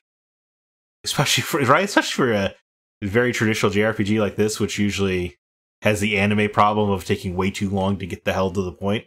Especially with filler and, you know, Yeah, this just thing goofy is- dialogue stuff. This thing's moving. I, it was almost like it was moving so fast. Where I'm like, oh, like like you don't you don't have like any kind of like major twist that sets you back, and you have to like collect. You know, oh man, we almost beat the lore, but now we have to go collect these three pieces of a sword that feels like it would normally happen. Like it just it just takes care of business. Nice. That's That's right. refreshing. very much so. And and the, and the plot hasn't like been super exciting so far, like the overall plot, but the characters are really good, and they have these little optional scenes you can watch in it, like uh, a bunch called by pressing the R one button, and they're little like skits, and those play out as like voice comic book panels, which is a lot of fun for a guy like me. Mhm. And uh, but it has like these cute little like almost like very down to earth character moments where they just talk about like their favorite foods or whatever that you can watch. You don't have to watch them if you don't want to, but it just adds a lot of depth to the characters. That's that's been fun. Very cool. And You enjoying the gameplay too? Like I've been looking at some of the battles. It looks very like dodge and roll. Yeah, it, it, uh, it does look that way. You're right. the The dodging is not as essential. It's not like a character action game or anything, right? It's not like your Bayonetta out there. Mhm. Um, but if but if you can dodge, you take you know you don't take damage. You do a little slow mo follow up. But the combat itself is incredible. It's so much fun. It uh, it like um like when I boot I booted up the demo a little bit last week and it, I found the combat just incredibly overwhelming because there's just so much going on. Mhm. But the but the game itself. So if you have played the demo, you feel overwhelmed like that. Just know that the game itself is uh, almost genius in the way it slowly introduces mechanics. That's what I want to hear. Yes, it it is remarkably paced. So by the time you get to that first major boss fight, four or five hours in, you you almost feel like a composer, like conducting this symphony of death. It is it is great because you another can- game you described that way. Yeah, I like this. It's going to be a Zachism. It is. and It, it is. It's just great to to do. You just yeah, you feel like you earned every victory almost. Like it's just it's just a lot of fun, and you can and you can set up your party members to do, you know, like hey, if I'm less than twenty percent health, heal me, you know, kind of stuff like that to to help you a little bit more, Mhm. which is always nice. Um, and and and you can play as any anybody, but um, Alphen has been who I'm maining, and he's fun because you do like a you know, an upper. You can do like launch people in the air, which like I just didn't expect in a JRPG, and do a little bit of juggling attacks Hmm. with him, which is fun. And he and yeah, man, you can do like team up attacks with your party members when a you know when a certain gauge fills. It's just there's so much going on in the combat, but Now, do you have to keep rotating characters? You said you mained one particular character, like like in order to keep like experience up, or or does everyone just get the same experience? Or that's a great question. I haven't I haven't had more party members that I'm allowed in a fight yet, okay, so I don't I don't know yet. I know there's only six party members total. So I don't know if that's how that fares for you. Uh, but but the experience, the leveling up system's pretty simple so far. You unlock these like it's almost sphere gritty, I Mhm. guess, or like the Final Fantasy thirteen Crystarium, which means I was just gonna ask that. No was- joke. oh, okay, it was. It, I would say it's a little bit like it's like not as complex as the sphere grid, but not as simple as a Crystarium. Okay, So it's almost like in between, but it is that sort of like, you know, you can unlock these three, you know, connective nodes or whatever. Well, the, you know, the last question I'll ask you is I was talking to Sean Fuller, listener of our show, and he said, uh, of the Horribly Awkward podcast, by the way, he go. said uh, that since I loved Final Fantasy 15 so much that he thought that I would enjoy this game as well. Do you agree with that sentiment? I can see how he got there. Okay. Especially, did you like the combat in 15? I love the combat in 15. Yeah, I would say it's. I would say it's not dissimilar. Okay. Yeah, it Um, it is the rare JRPG where, because you you could see all the enemies on the maps. Because I feel like random encounters are probably just a thing of the past at this point in our lives. hmm But uh, I am like I'm engaging in every fight because I just want to. It's just that much fun. it is it is that much fun and you're unlocking you know new abilities and stuff at a good clip. It's just it's just so much fun. Yeah, a lot of fun. So it sounds like you highly recommend this game. If you like Japanese role playing games, um, I, I've been making the comparison. It feels very much like a PS1 or PS2 JRPG. Hmm.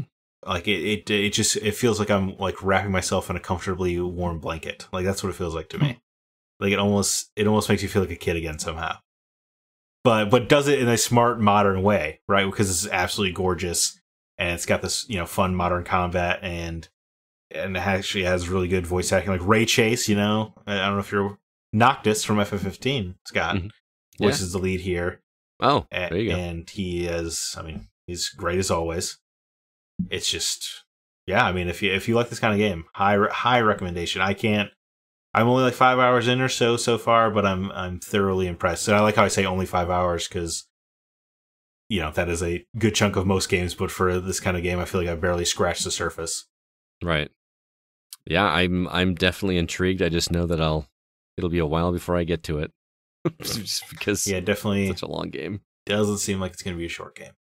Yeah, I love that box quote by the way. Wraps you up in a warm blanket like a PS1 really- game. Ah, it does. Yeah. I mean, I just have such nostalgia for that era of, especially that era of SquareSoft. It just it it takes you back there. Cool. Let's go ahead and move on. All right. So I have a question because apparently you've both been playing this. Um, you're playing a game called uh, World Flipper. Yes, I did watch the trailer. No, I was going to ask Zach if he actually did check it out. I couldn't. I, we did, hadn't yeah. talked to him. Mhm. Oh, okay, cool. So uh, I need to tell you, I need to ask you why. Apparently, I need another pinball game in my life. Well, would you like a waifu pinball? I have one of those already. Oh, I need more, more details. Off We'll, we'll air, talk. We'll talk off air. Yeah, Um, but yeah, I, I, I watched the trailer for this and I'm like, mhm. So so first off, I'm I'm not as big on cell phone games, Mhm. Okay, and I will say this does look a little entertaining. So so pitch me here, like why why do I need apparently to not only but buy a iPhone to play this, but it's only on iOS. Is it- it's not on Google?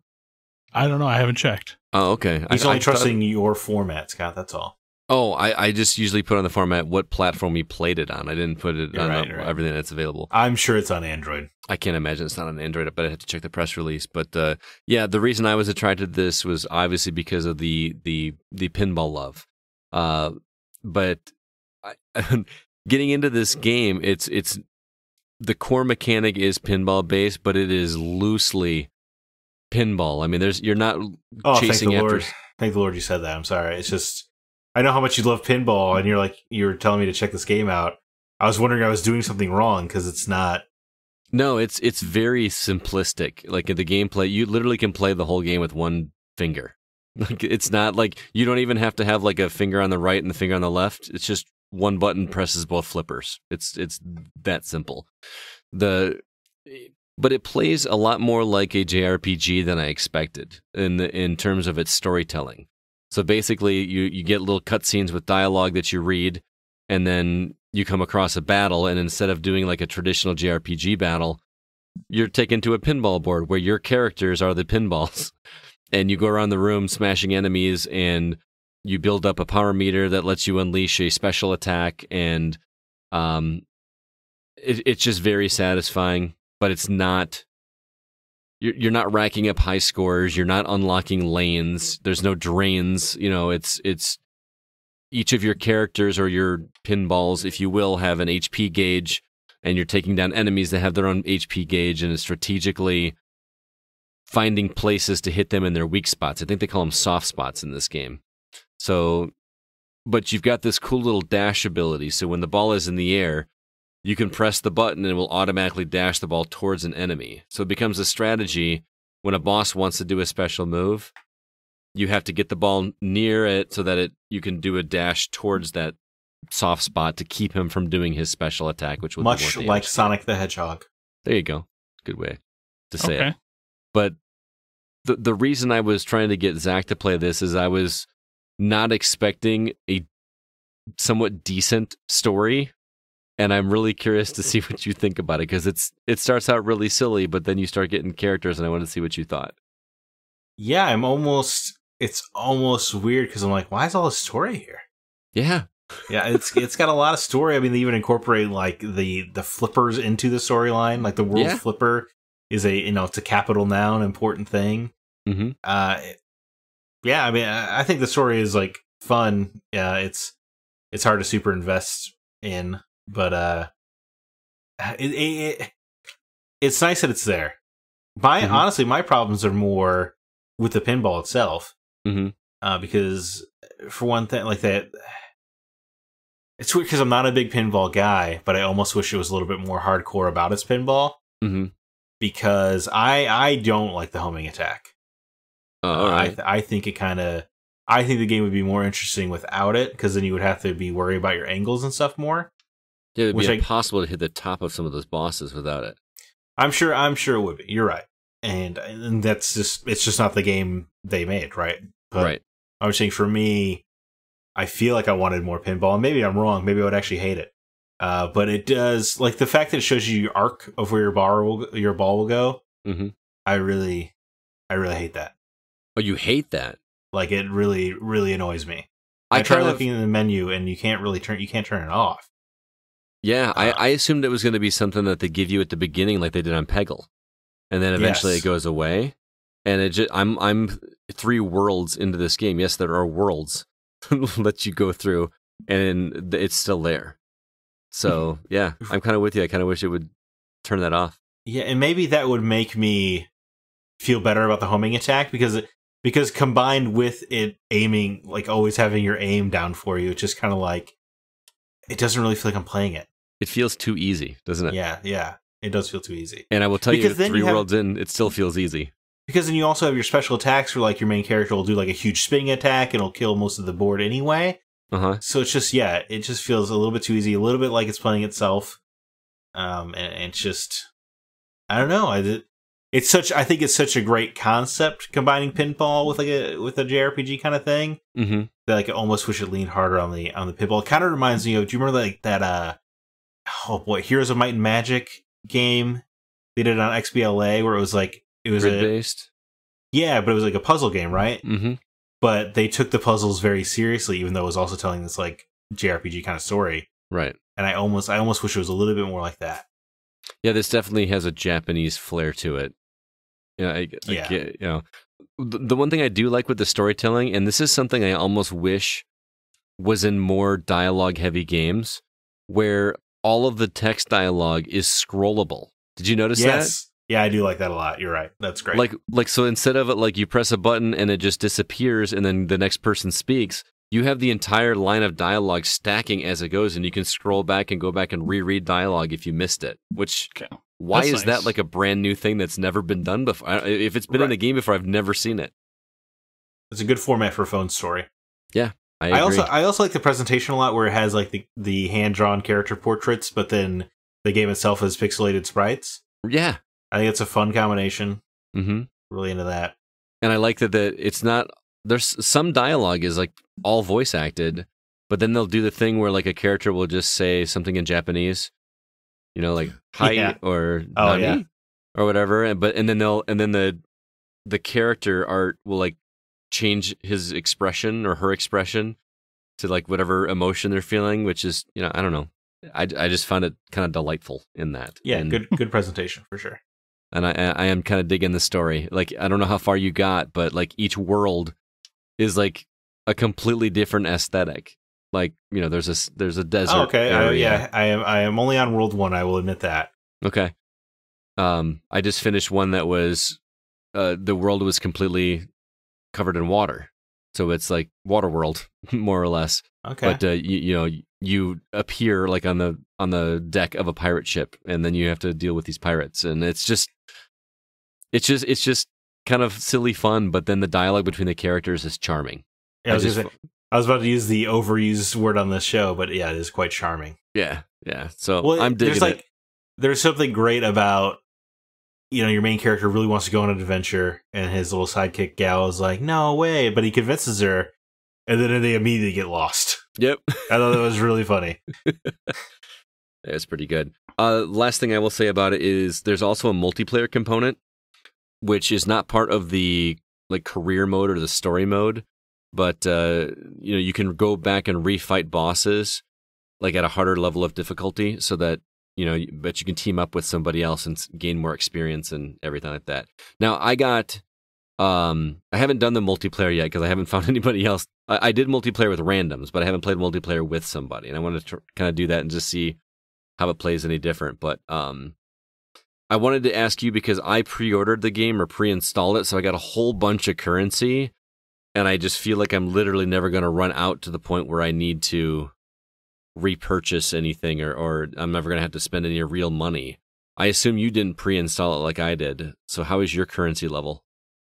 It uh, it's not bad, but it's not great. Okay. Yeah, I didn't.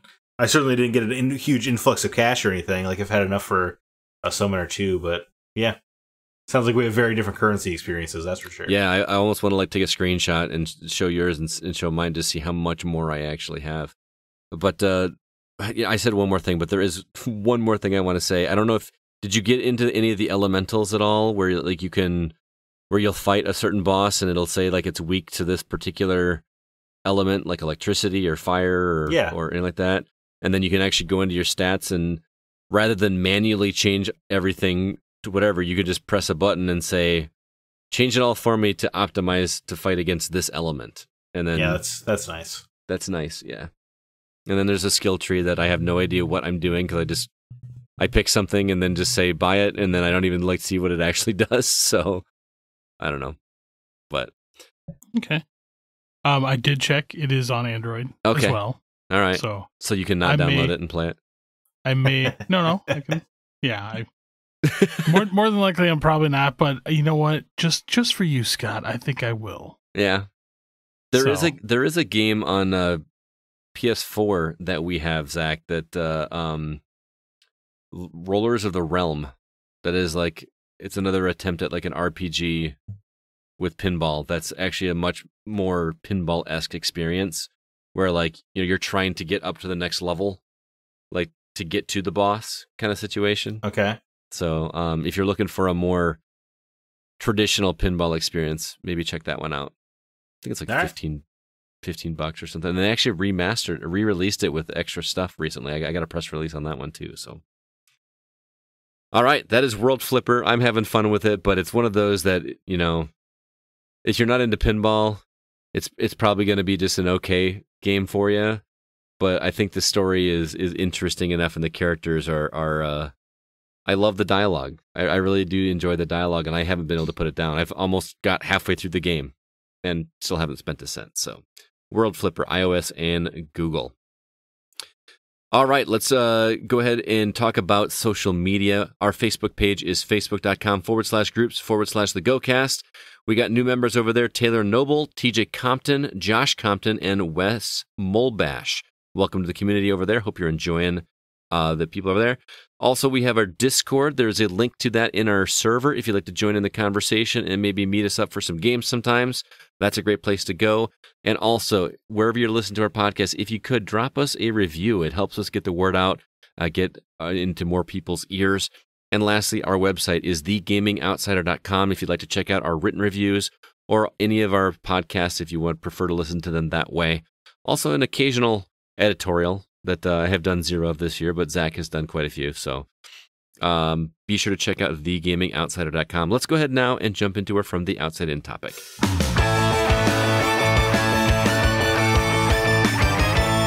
We took a different path for this week's From the Outside In topic since so much was announced at this week's PlayStation experience.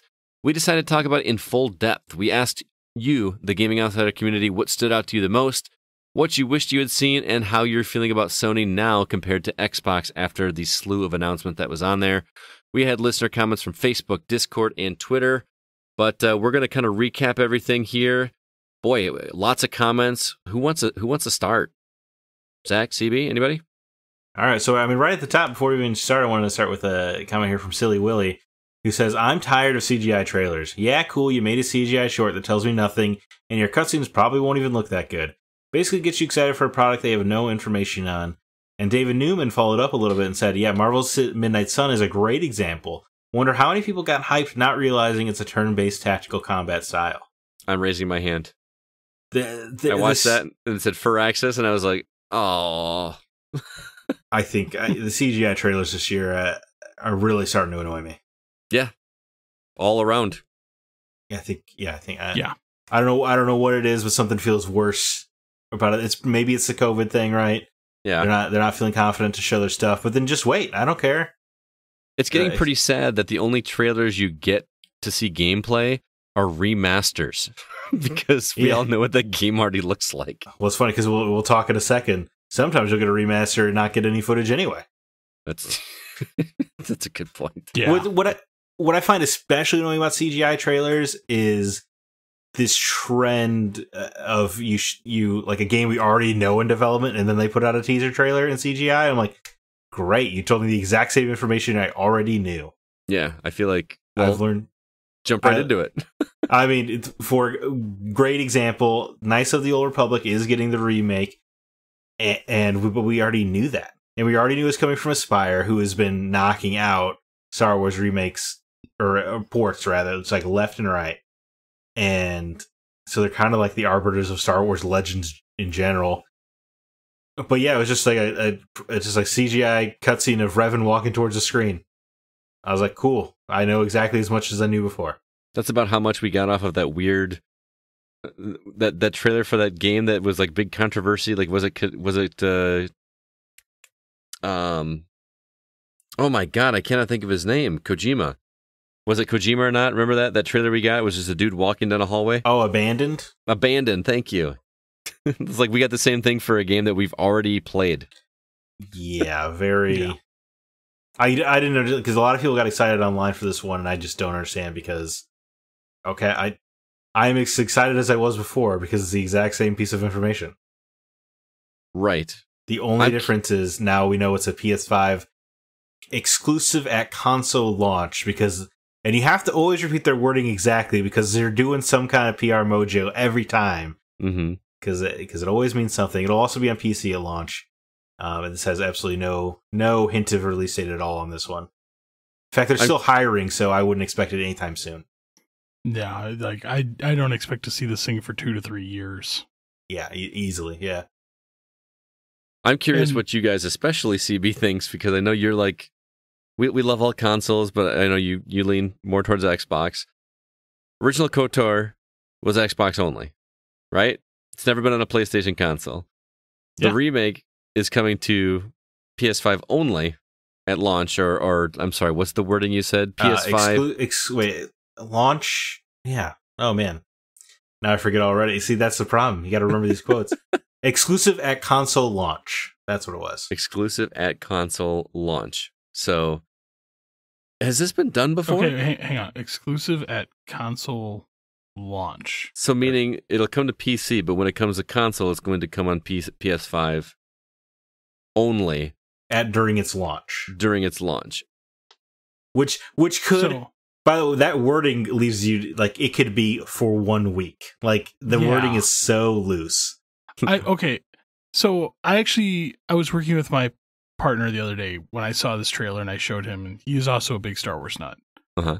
Um he immediately had questions Oh, we all did. and said said something interesting um based upon who owns Star Wars.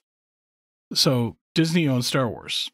Disney infamously does not like to exclude anyone. Well, unless it's, like- unless it's with Spider Man or Wolverine. Well, hang on, we'll get there. um, so at the time, because technically Sony owns Spider Man, Right, not Only Disney. but only movie distribution though. right. true. So I mean, there there's funky leeway there. So I, so I think Sony has a little more bargaining with Spider Man because they do own the movie rights. Be like, ooh, well, if you want us to do the things, like we want this exclusive as game. But since Sony doesn't own Star Wars, they may not get the final say for that to be exclusive to PS5. So where you say exclusive at console launch, yes, like, ooh, you get it for a day. Congrats. Right. And I'm sure Um, I'm sure it won't be that short, but their wording does leave that opportunity. it'd be hilarious if it was. Yeah. And that'd be Um, awesome. Yeah, it's just with with something that is beloved as Star Wars, I am surprised that they are allowing a console exclusive. Uh, it, like that just like boggles my mind. Um, with the with the other one that we'll talk about here in a bit, like that also is surprising to me. But So I, if I think the KOTOR remake being a PlayStation exclusive is a complete dirtbag move. Why you say that? Especially so both KOTORs were Xbox games. Mm-hmm. and now they're coming over to PlayStation exclusively. It really reminds me of when Rise of the Tomb Raider was an Xbox exclusive and everybody got mad, lost it, so much anger.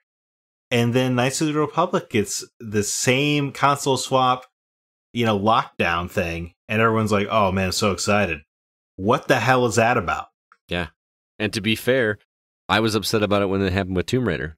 And I was upset and I had an Xbox. Yeah. So did I.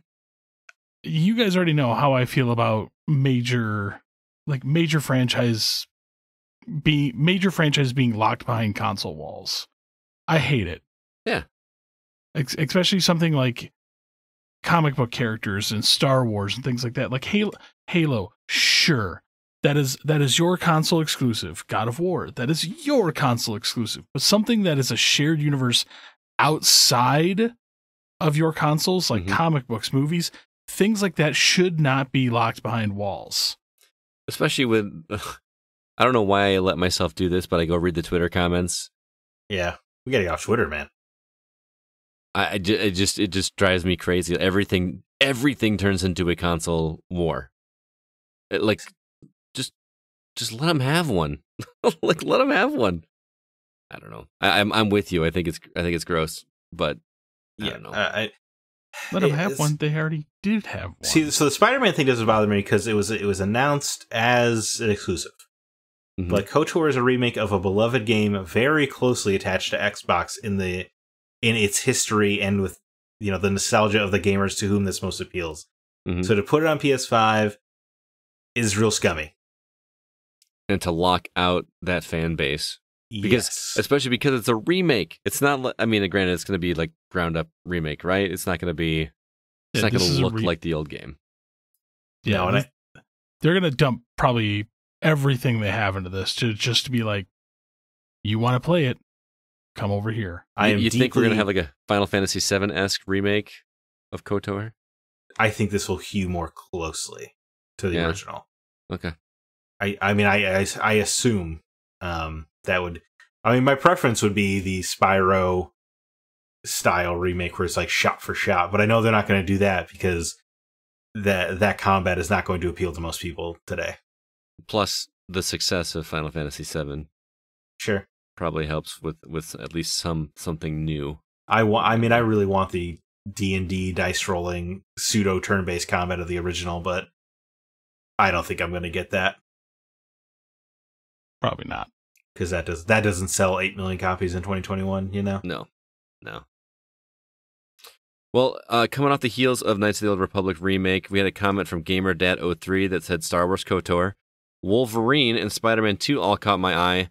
So I'm just glad I plugged up my PS5 to start playing. I just need to actually download some games on my PS5. LOL. Um, he mentioned we knew Spider Man 2 was there. He mentioned that one. Right. Finally got to see something from that. What did you think, Zach? I'm I'm really curious. Well, I don't know if it, you know. I don't want to. I don't want to jump. Do we want to jump the order? I guess it doesn't super matter. Oh, okay. we're gonna start with Wolverine. Well, oh, oh, I see what you're saying. You want to go through the order of how they were announced? yeah, somewhat. Okay. I mean, All it's no secret what was announced, but uh, yeah, I feel like talking We'll, about it. we'll circle back. Yeah, we'll okay, circle, we'll circle back. back. to Wolverine and Spider Man. Uh, what's next up? Project Eve 2021 on PS5, Xbox Series X, and PC. That is a Zach Parkerson game. Yeah, I call I called dibs on this while they were showing the trailer. And I wasn't watching live. I think it was in the car on my way to Milwaukee when I get, got a text from you saying that you're calling dibs on this one.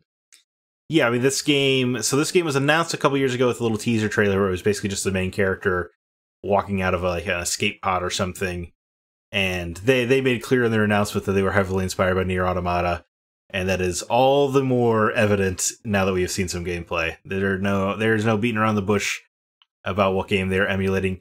So so much so, I really love this. This is just a me story, real quick. Yoko Taro uh, quote tweeted the the announcement of this game just with the word "buy." So he's on board. Buy. Yeah, as in as in he's going to buy this game immediately. Oh, I thought you were saying buy as in goodbye. No, buy as in B U Y, as in this man loves him some sexy lady action games. uh, but I, but I, outside of that, I think it looks. I, I think it looks great. You know, it's it's nice to see a brand new single player IP. Yeah. Yeah, I, I'll give you that. So, I, and it's just isn't a genre I like. It appeals to me. I'm over the moon excited for Project Eve. I may I even tell. play it. You what? I may even play it. Wow, I think it looks great. Yeah.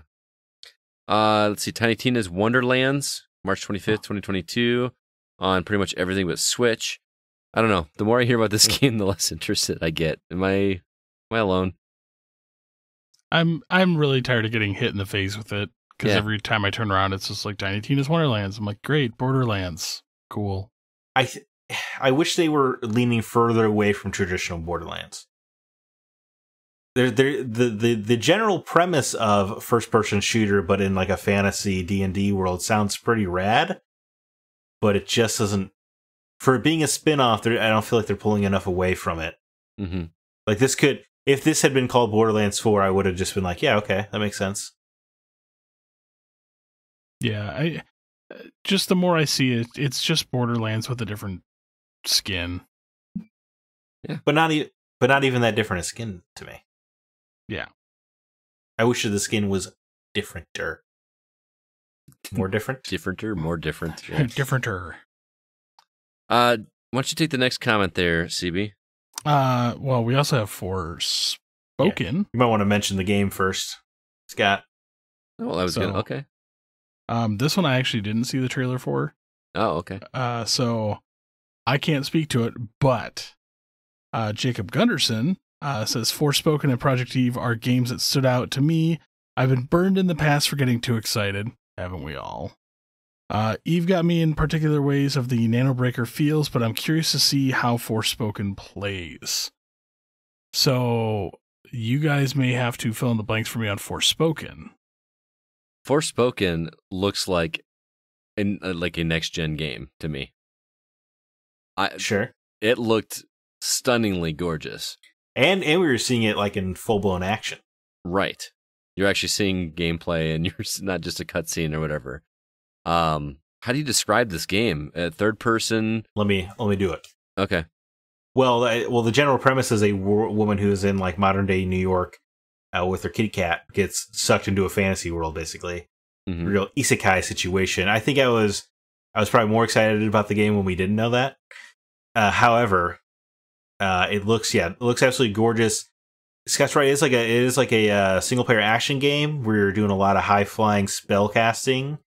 Looks like it looks like you're casting like a lot of magic, almost almost shootery, right? And the way it works, but but what really catches my eye is like how fast she moves across the world. She's almost hopping around, jumping like the Flash or something. Mm-hmm.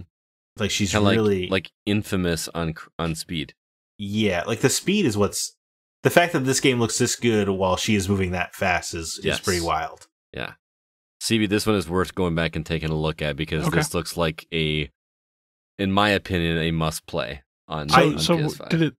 So, so this trailer did it legitimately look like the old school vertical slices of games, where they just like take a section and build out like some gameplay?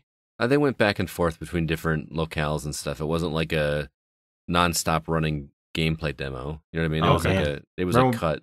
Remember when back, remember back when they did announce games with like narrated gameplay segments straight? That was Dude, I that- missed that. That was I so missed exciting. That, at E3 when they and they or they'd have somebody playing it live on stage and then talking through. Oh man, one of my favorite E3 moments is that first Last of Us demo where it ran perfectly and the crowd was going crazy, and then the Naughty Dog developer just dropped the controller like the mic. It just walked off stage. yeah, I I do Baller. feel that as we've moved toward these like digital events, like vertical slices have just disappeared, Yeah, you're I, you're absolutely right. and I I miss those well, because unfortunately, these CGI trailers are selling. They're working. So Well, we're going to keep getting them. if I was Sony, I don't even like. I would just be like, it doesn't matter what we do. Everybody just eats e- uh, up everything we do. Pretty Like, much. This, this fan base is so deeply tied to us that they could have just and they could have put out Wolverine. You know, with they could never show us gameplay of Wolverine, and it would somehow still sell six million copies. I mean, I'm sold. See, And I'm, not, and I'm not even like one of those people, but uh, like, unless it's a, you know, an XCOM game, I'm I'm pretty sure I'm gonna like. Wolver- I'm gonna play Wolverine.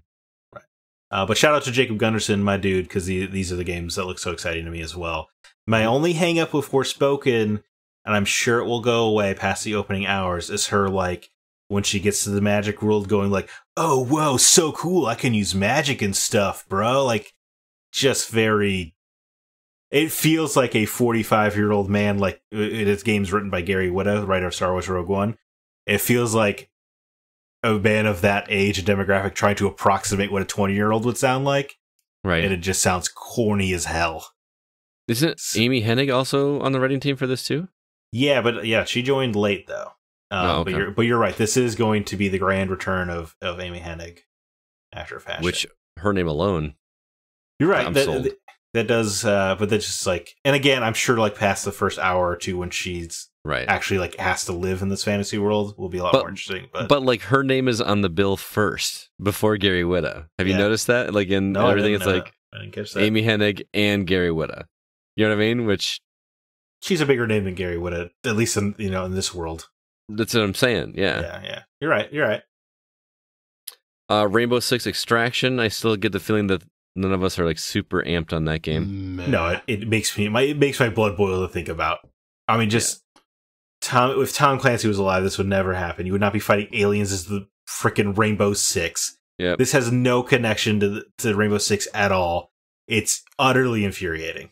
Yeah. I, I honestly think this game probably would have actually done better if it wasn't named Rainbow Six Extraction. I yeah, you're absolutely right, Steve. If it was just a yeah, like a just first Extraction. person, Just Yeah. drop the Rainbow Six. just a first like ah, it just this and with that uh whatever that Tom Clancy game with the XD in the title was the punk rock shooter like it just completely alienates somebody who you know I I always made a point to buy every Tom Clancy game hmm up until he died basically because then because then any semblance of what that meant went away. Yeah, it's unfortunate. Ugh. Anyway, sorry. These are just very fun tactical games, and and those they're dead. Well, they're dead. Just paid homage to like, like, mi- like the amount of research that went into the military side of those things for those games Mhm. and books and movies was impressive. And now they're just like throw it all out the window. Aliens, bro. Next we're doing ghosts. Right, like like everything about it, you know, like everything Sam Fisher used was something that was actively used by the military or in development. It was always that close.